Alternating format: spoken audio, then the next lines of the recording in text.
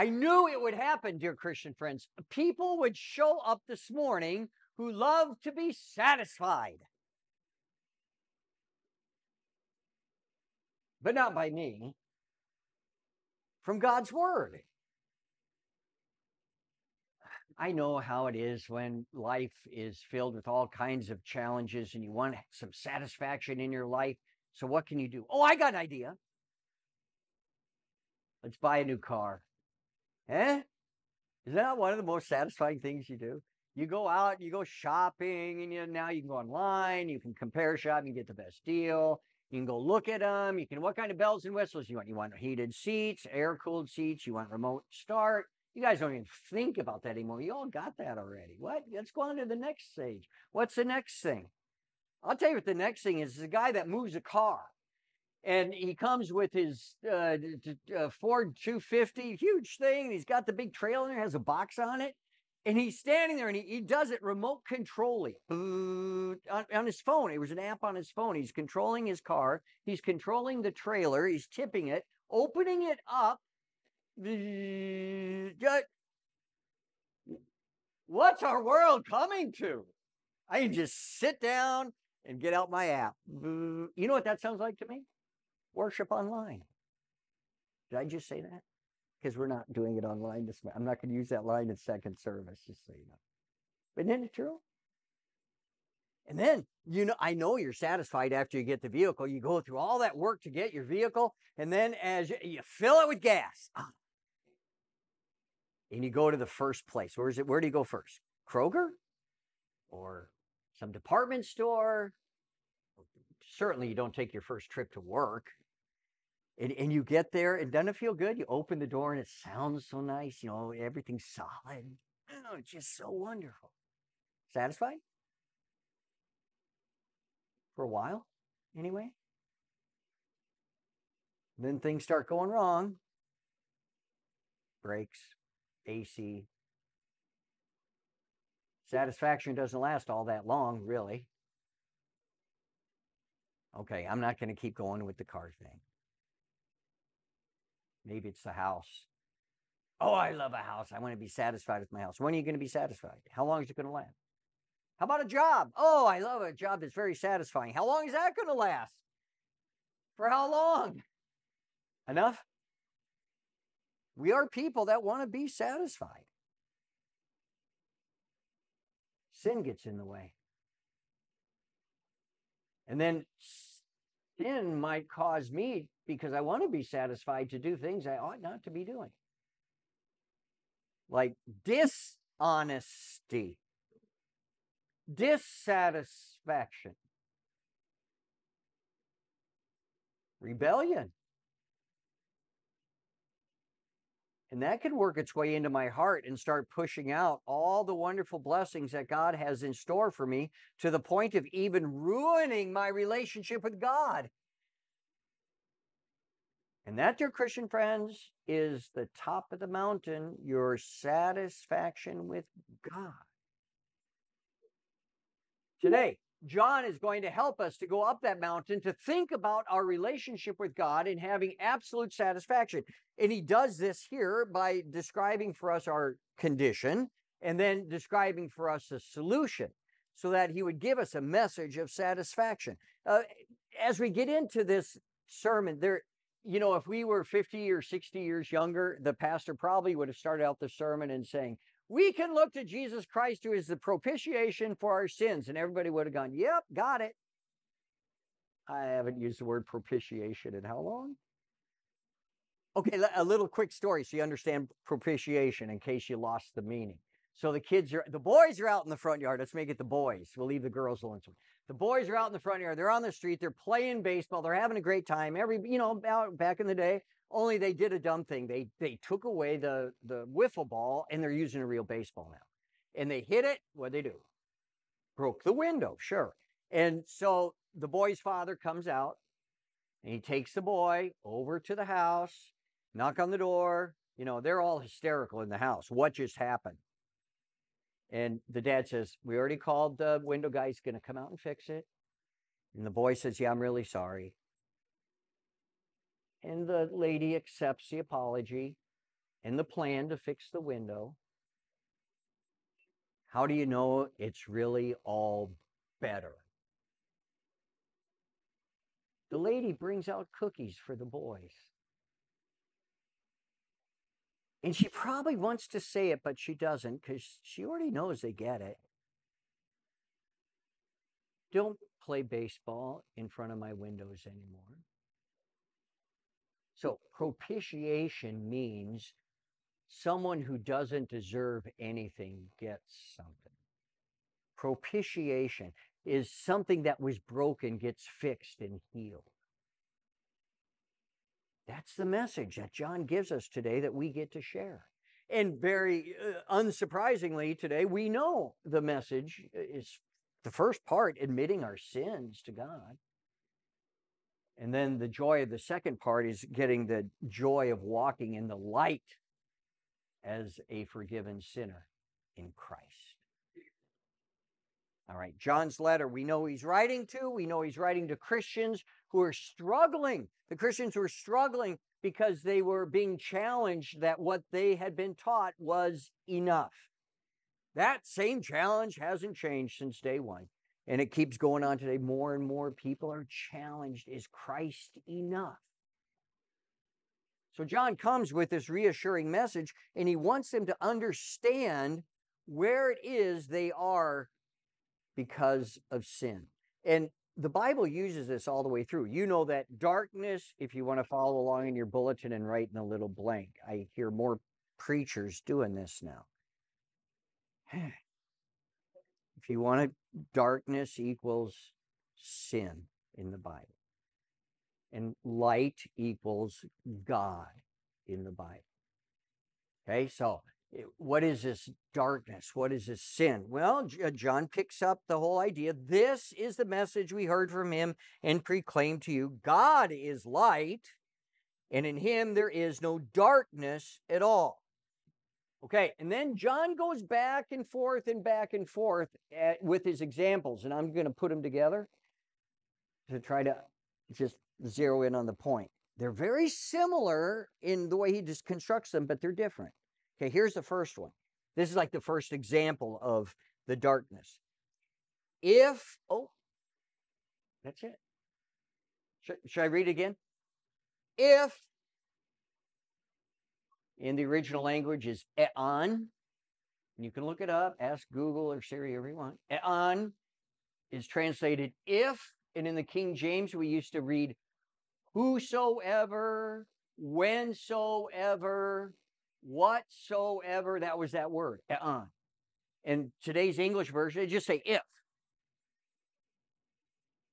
You've had me in Bible class enough to know whenever you see this if word, just write the word when right above it. It's a valid translation. Just go, you can listen and, and look at your second reading again. Everywhere it says if, just put when in there.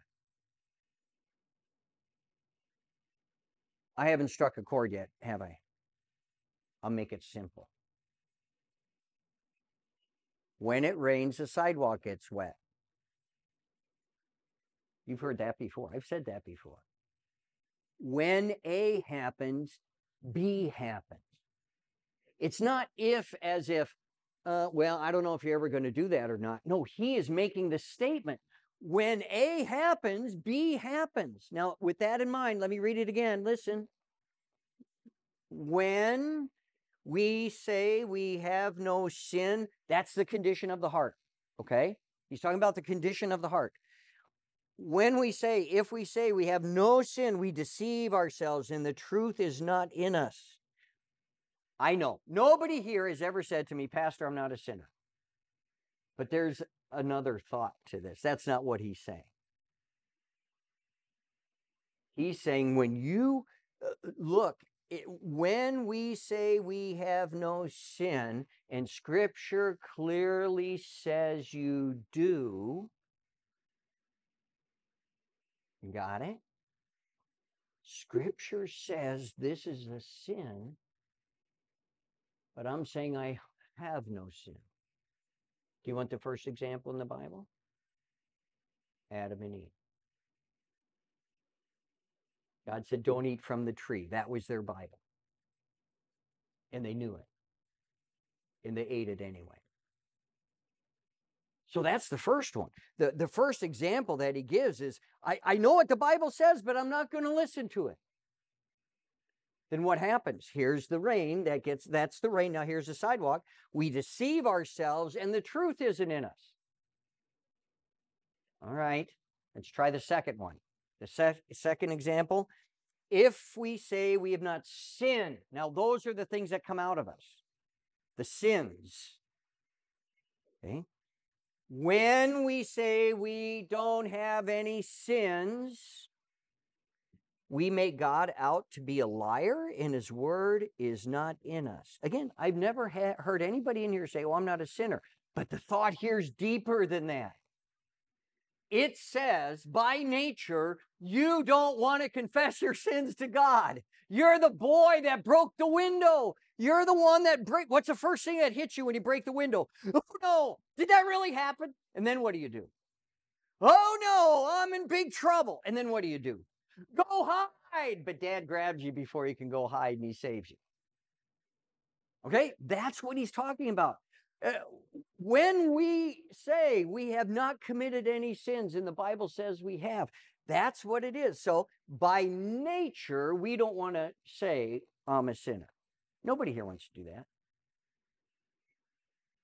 Do you doubt me? Let's start this service over again today. I know you didn't look at the last page in your bulletin. Don't look. But they're all numbered. I put a little number right inside the back cover of every bulletin. And whoever is holding bulletin number nine, we're going to start our service over and we get to the point where it says silent confession of sins. You're going to come up front and turn around and tell everybody the sins you committed last week. What? Is it true by nature I don't want to do that? Even though the Bible says this is healthy for you to do that? Are you going to buy it? You got buy-in? You you really ready to do that? You got the promise. He's got the promise. If we say we've not sinned, we make him out to liar, and his word is not in us. So then what's the other side of that? Oh, this is the promise. This was the promise King David discovered. When he held his sin and tried to hide it, it killed him. He couldn't sleep. His, his physical ailments, it just, he confessed his sins. And what did God do? Healed his heart. Judas, what did his hiding of his sin do to him? Even though he tried to fix it, throw the money back into the temple, killed himself. Ananias and Sapphira, they sold their land and brought the money to the disciples, but they kept a little in their pocket. They gave it to him and said, Here's some money for the property. And then doesn't Peter's conviction? Ananias and Sapphira, why did you lie to the Holy Spirit? Why did you lie to God? And they fell over dead. We got it? God is not a liar. His word stands true and so do his promises. That's the message of truth that God has given us to share. It's the message that starts by saying, I'm going to realize what sin is. If you want to think about it systematically, the three answers there in your service folder, you can say, first of all, I'm going to get rid of my attitude towards sin and that means get rid of the denial. Stop telling yourself, "Oh, I don't have sin." Stop telling yourself, "I haven't I haven't committed any wrongs against God." And then after the denial will come the point where we own it. When we realize what we've done is against God and we own it. And then what happens? Well, run. Not away from God. Run to the cross and the empty tomb. Admitting your sin frees the chains around your ankles so you can run to the cross and the empty tomb. God keeps his promise. And of course, John talks about this. This is the message that we heard from him, that Jesus, in the upper room for one, and proclaim to your to you, God is light, in him there is no darkness at all. You see what this does for us? This helps us to understand that uh, when we when our lives are, are all bound up with sin, God gives us this promise that in the admission of our sins, the egg starts to crack. The shell that encompasses us and ruins our hearts is shattered. Admitting our sin is a blessing before God. Yeah, we admit our sins and then the message that we've heard and proclaimed to you, well this is this is what King David came to realize. Oh Lord, have mercy on me, heal me, for I've sinned against you." And that's where the satisfying truth starts. When I recognize my sinfulness, the silver lining I really need a savior. Yeah. You don't need a life jacket unless you're drowning, right? You don't need a fire extinguisher until you have a big fire at your house. But when it happens, Jesus is there. That's what the law does for us. It helps us to recognize how desperately we're in need of a Savior. That's it. So he says, But if we walk in the light, just as he is in the light, we have fellowship with one another. And the blood of Jesus Christ cleanses us from all sin. This is the hope that we confess. This is the, the, the love that we hold on to. This is the truth that motivates us every day. This is, the, oh, what is this? The propitiation. That's what I'm talking about. Propitiation. Jesus made it all right.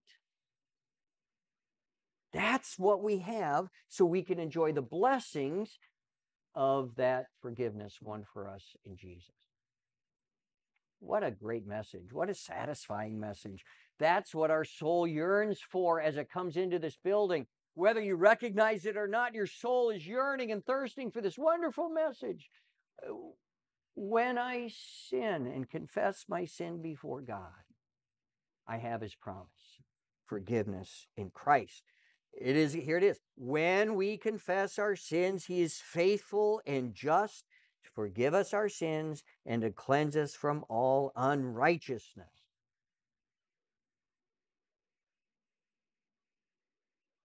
Maybe I could just think of it like this a light switch that gets turned on. Is it on for you? Do you see the light? God? Forgiveness? Careful. Because the devil likes to follow right behind you, and every time you turn on the light switch, he turns it off. Do you have someone in your house like that? You turn on a light and they come behind you and turn them off? Ask Mrs. Hering constantly turning off lights and I'm constantly turning them on. That's what the devil does. No, I'm not calling June a devil. I'm just saying the Lord knows what we're up against. And this is such an important message for us to share with those around us. Okay, the boy that broke the window, let's go back to him just for a second. The dad takes him into the house and they talk to the lady and he, you know he consequences of it he maybe has to pay for the window whatever it is maybe goes home and gets a spanking i don't know but this is what the boy knows it's taken care of that sense of relief and that's the satisfying message that we have that sense of relief because that light switch has been turned on. We've been enlightened. So we get to joyfully walk in this forgiveness. And because God, the Holy Spirit, knows how our struggles are going to continue on to try to find satisfaction in our life, and the devil is going to turn us in the opposite direction of God's promises, John has to draw us back into his word. My children, I write these things to you so that you will not sin. Okay, look out, devil's chasing you. Be careful, be on your guard. If, oh, there it is again. when anyone does sin, don't you love this? We have an advocate with the Father. You have the best lawyer anybody could ever want Jesus. You have an advocate with the Father, uh, Jesus Christ, the righteous one. He is the atoning sacrifice for our sins, and not only for ours, but also for the sins of the whole world. There it is. Can I summarize it and say amen? Explain to me the difference between objective justification and universal atonement. And I'll say amen. Jim, you to let him off the hook? That last sentence is absolutely wonderful. The full payment has been made. Atoning sacrifice, universal atonement. There's nothing left to pay. Objective justification for the sins of the whole world. What a great message to share. Wouldn't it be great if it was just that easy? You just walked up to people and just rolled off those theological terms and just said, that's it. The greatest message to share. Dear Christian friends, I know that we are living in a day and age where it's getting more and more difficult to walk in the light. The light of, of God. The temptation in, for me, and I, I suspect it's for you, is to just walk in the shadows, not be noticed, not speak to anyone. That's the downfall of the church. Not proclaiming God's word will cause us to shrivel up and blow away. God's not going to send angels to share the message. He's going to use us. And he gave the great promise when you share that message, God's going to go to work. That's his light shining. Walk in that light. S- share this most important news, this satisfying truth. Okay, three quick examples. Number one, how am I going to share this message, a satisfying message? If you're mean at school, stop it. Be nice. You like yelling at people at work, stop it. Be nice. If you're at home and you're grouchy, stop it. Be nice. Because you know the satisfying truth of God's word. When we confess our sins, God is faithful and just and will forgive us all of our sins. That's guaranteed. That's the promise that He's made for us. Jesus Christ, the light of the world. You the light of the world as a witness of Jesus Christ. You want satisfaction? I suppose after church day, you can go buy a new car, go buy a new house, buy some new clothes, buy some new food. None of that's going to last. There's only one satisfying message that lasts forever the message of Jesus Christ, the, the light in which we walk. Dear Christian friends, as you walk in that light and reflect that light as the light that God has given to the world, don't be afraid. Just like the early disciples, boldly going out with the satisfying message of Jesus. Amen.